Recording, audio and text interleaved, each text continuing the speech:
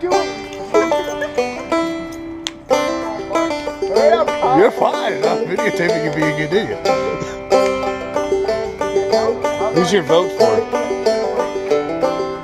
You gotta hold on to it now. Now it's your torch.